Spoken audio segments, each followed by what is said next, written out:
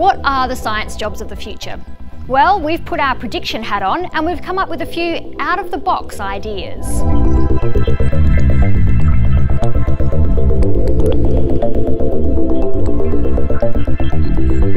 A global future farmer is going to use advanced technology to produce food. Future farmers will be experts in using drones and satellite imagery and will be able to scan plant and animal genes to find the best produce. Farms themselves may change, with more vertical farms rather than expansive fields, and herds of farmed locusts replacing cows. Policing will change too, with more focus on cyber policing.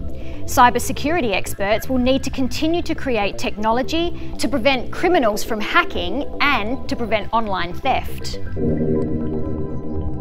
Nanomedics could be the future of medicine.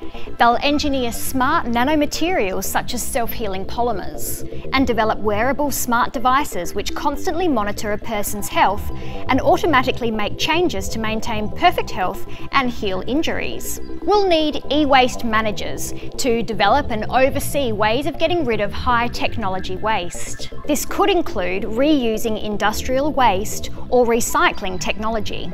And forget travel agents.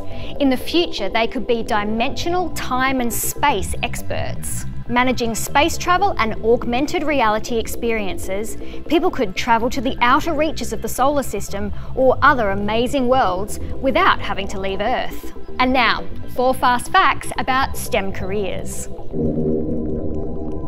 The United States has predicted STEM careers will grow by around 17% each year, compared to less than 10% for non-STEM jobs. Again, in the United States, people working in STEM jobs earn an average of 26% more than people in non-STEM roles. In Australia, 75% of the fastest growing occupations require STEM knowledge and skills. And don't look at STEM studies necessarily as locking you into a future in science.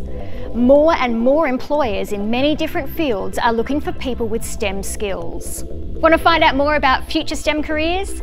Jump onto our website where we have some links, heaps of interviews and plenty of teacher resources as well. And we'll see you right here next week. Like this and want more science in your life? Click here to check out RiAus on Facebook, Twitter, YouTube, or watch more episodes of A Week in Science.